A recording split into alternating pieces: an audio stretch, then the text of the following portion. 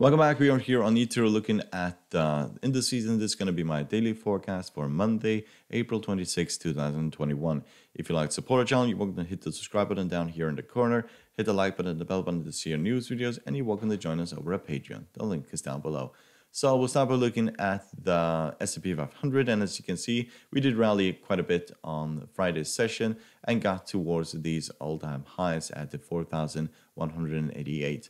If we look at technical indicators, we can see that a MACD has crossed the signal line. It's still in bullish territory, but has crossed the signal line, indicating bearish momentum.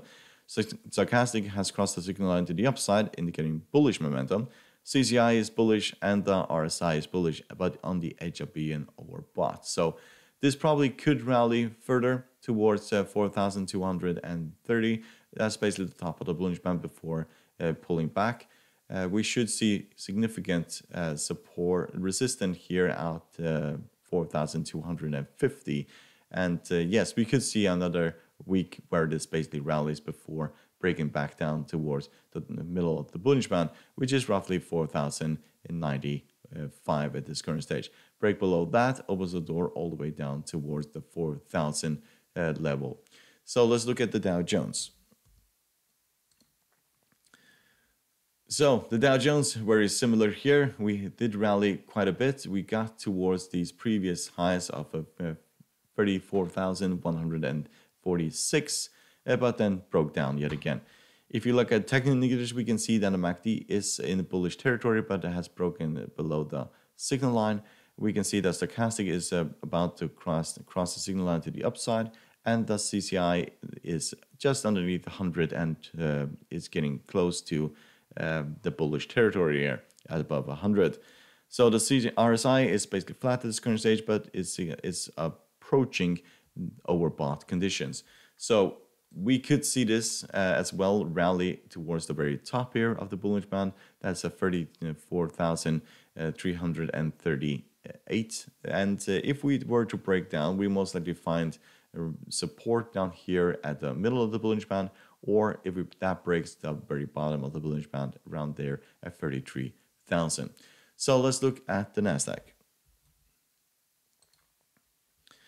So the NASDAQ is just hovering around at this same area. We are not going anywhere at this current stage. So there is earnings season and uh, most of the major tech companies are going to um, we're going to see their earnings in next week. So Tesla and most of those major tech companies are basically going to show their earnings, and that uh, that's probably the reason why we're trading sideways. It's basically just a pause in this market, and if earnings are very good, then we could head towards. Uh, 14,500 is probably is going to be the next target, or 15,000 in the in the long run.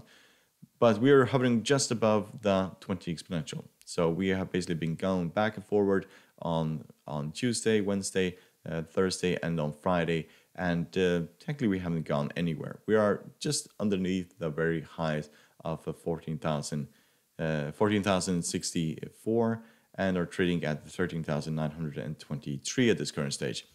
If we look at technical indicators, we can see that the MACD is about to cross the signal line, indicating bearish momentum.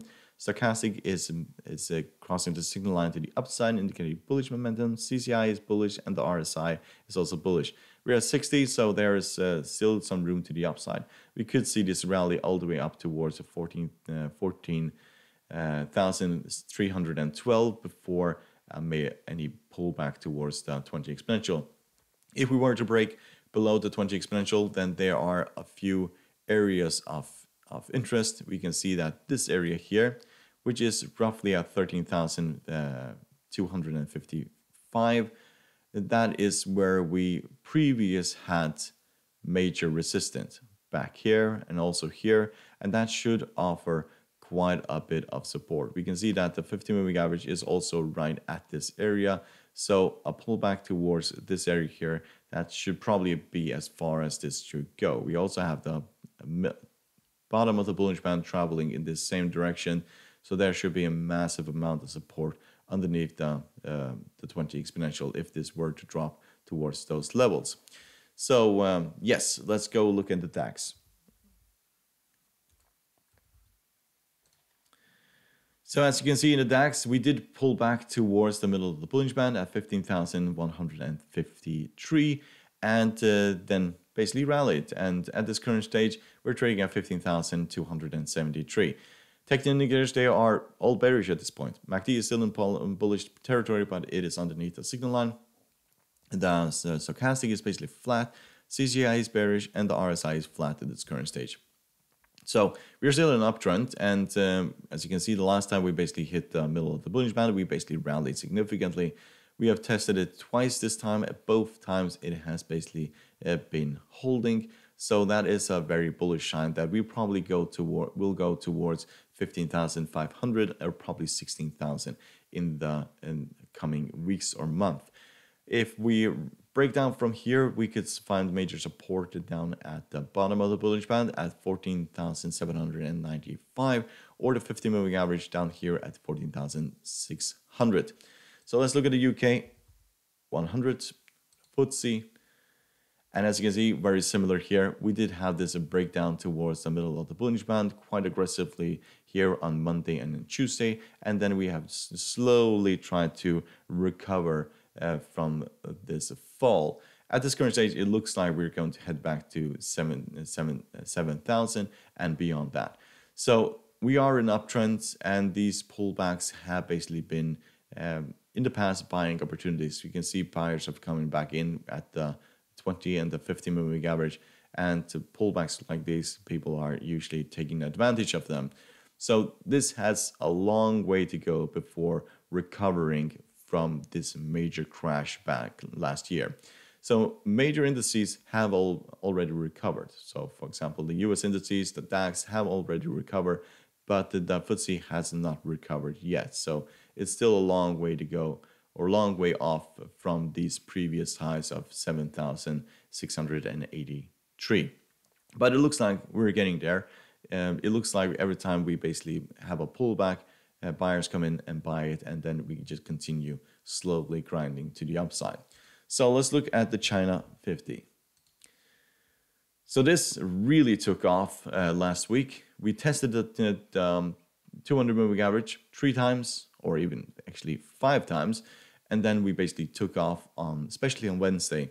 It rallied above the 20 exponential, broke down yet again on Thursday, and then completely rallied on Friday. We are just underneath the 50 moving average and the top of the Bollinger Band. Technical indicators, they are all turning around. So we have been here before. We did see this rally here. Uh, this is only three weeks ago, where we rallied to 17,737, and then we absolutely collapsed again.